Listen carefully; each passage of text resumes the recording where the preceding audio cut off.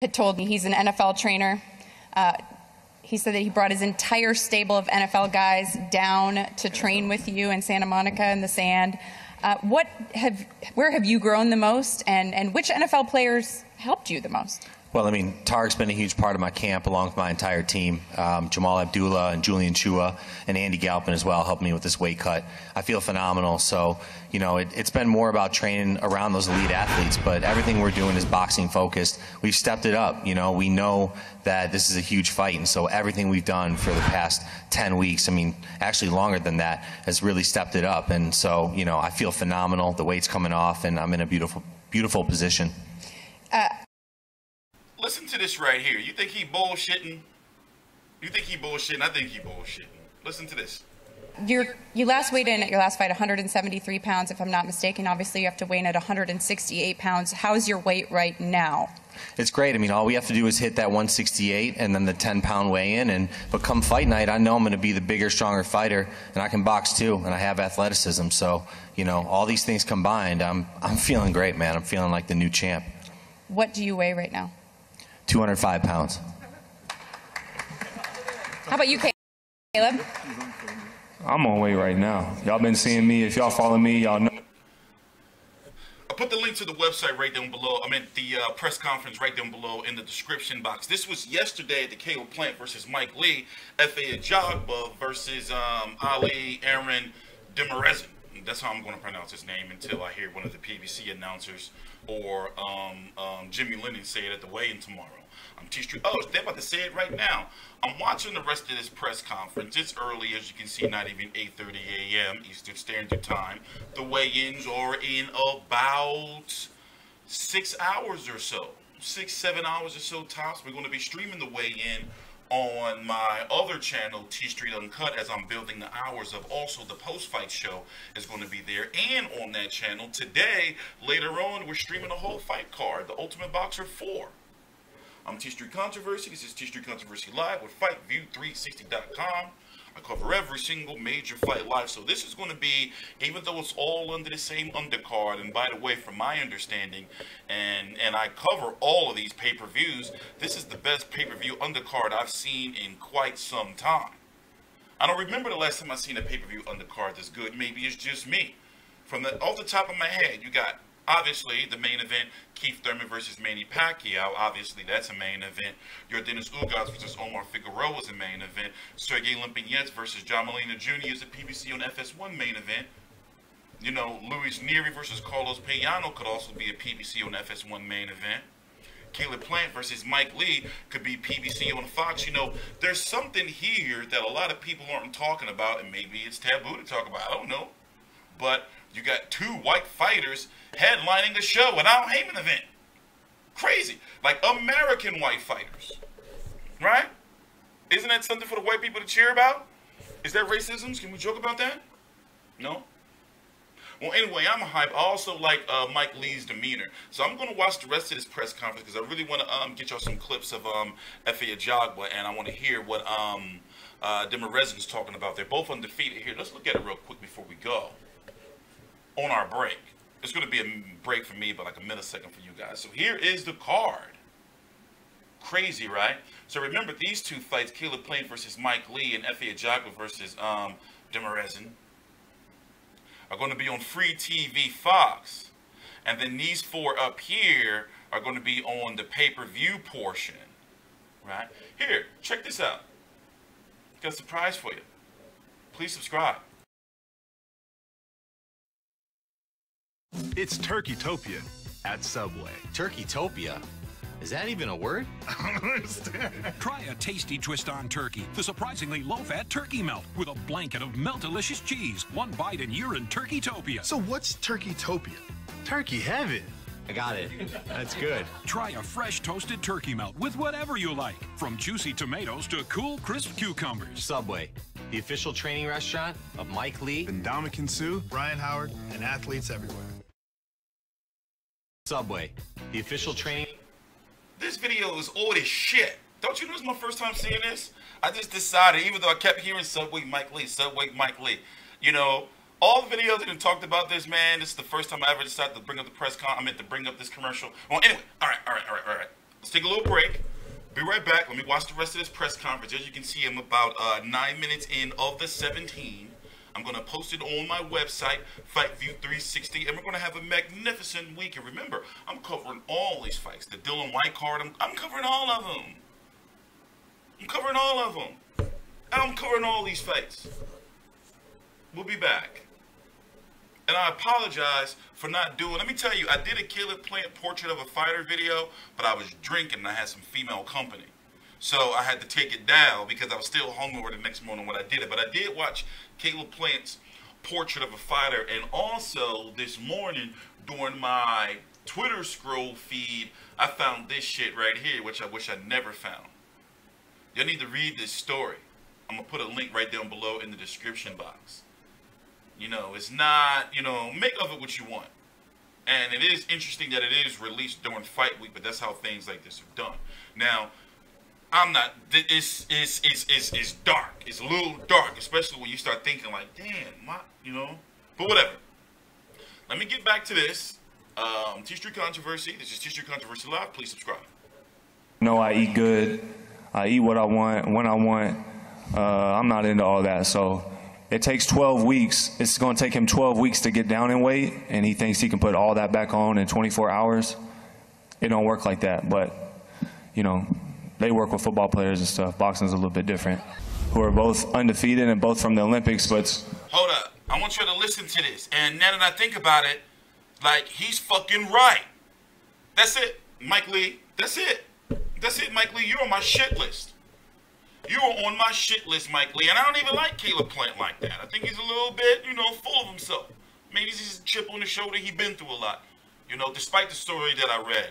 But for Mike Lee not to show up to PBC on Fox face to face, nah, bro. Nah, come on, nah, bro. So listen to this. I'm gonna let him. I'm. I'm. I don't know why. Maybe it's the coffee, Piccolo Joe.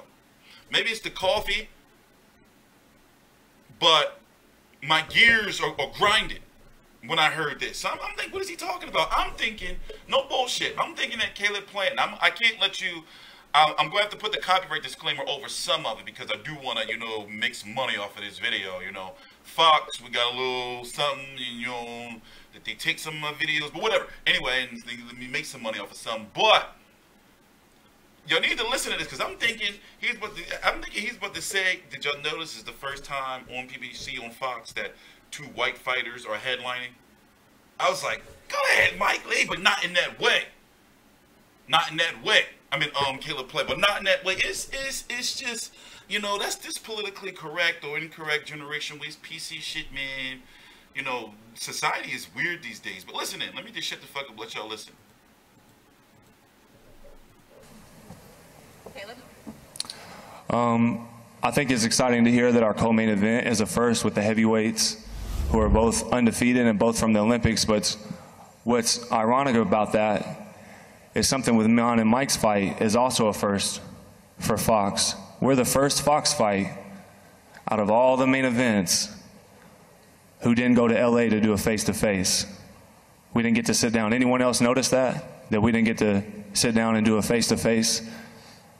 I'm wondering why Fox got an email saying Mike won't be showing up and there will be no face to face because there's bad blood. First off, that's a bit of an understatement compared to all the bad bloods that there- that there's been throughout boxing. Secondly, y'all think if there was really bad blood that Caleb Plant wouldn't show up? That I wouldn't want to be a part of that? If there was actual black, bad blood? Y'all know me better than that.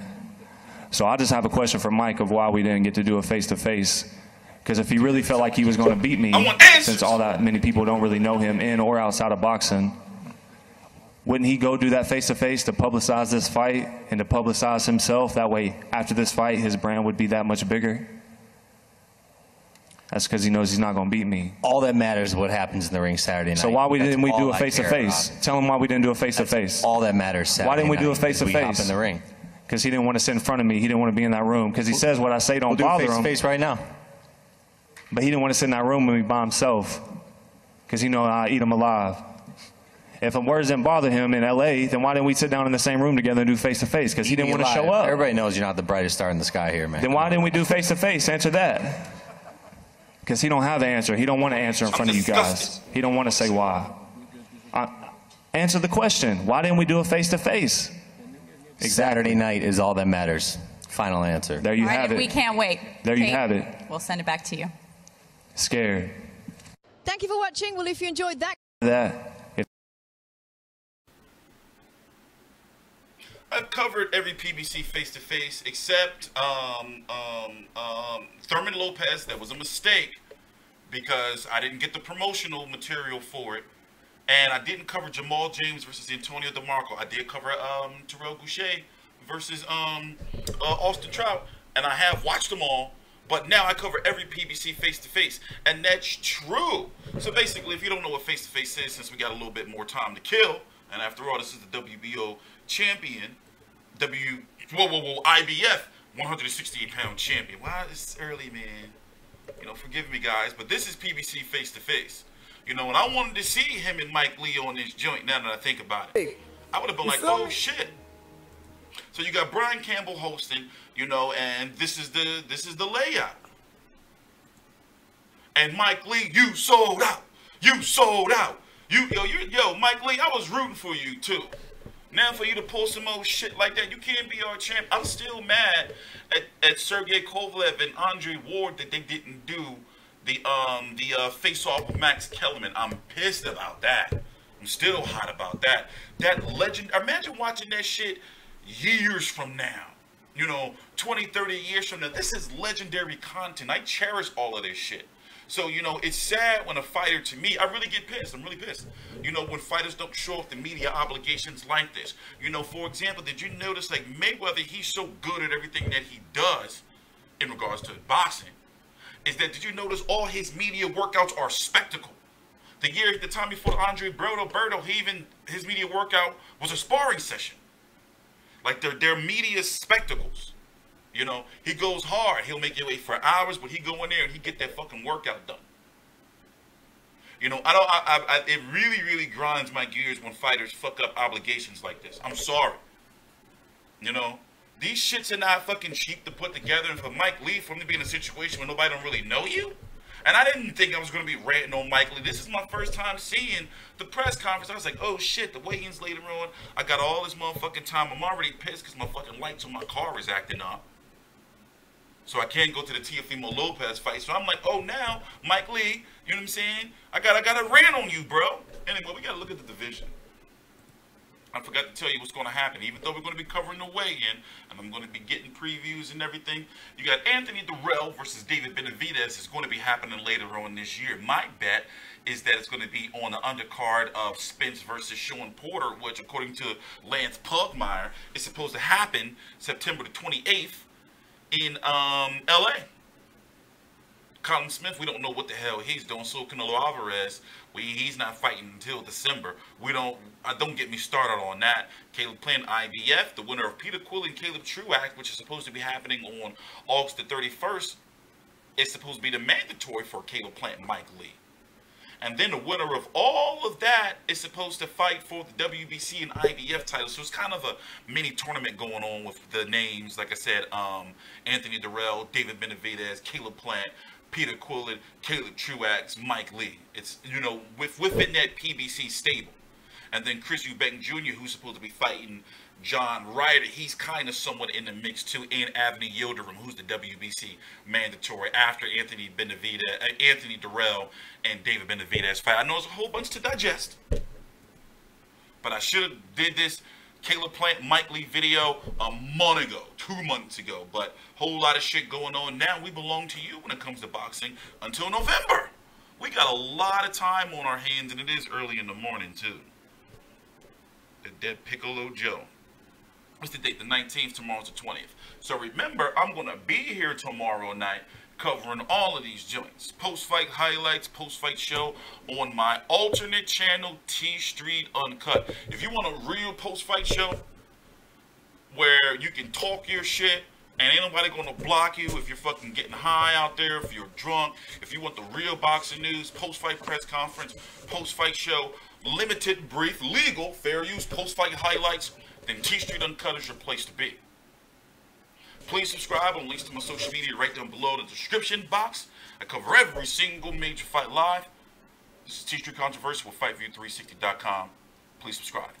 Manny Pacquiao, I told you, it's one time.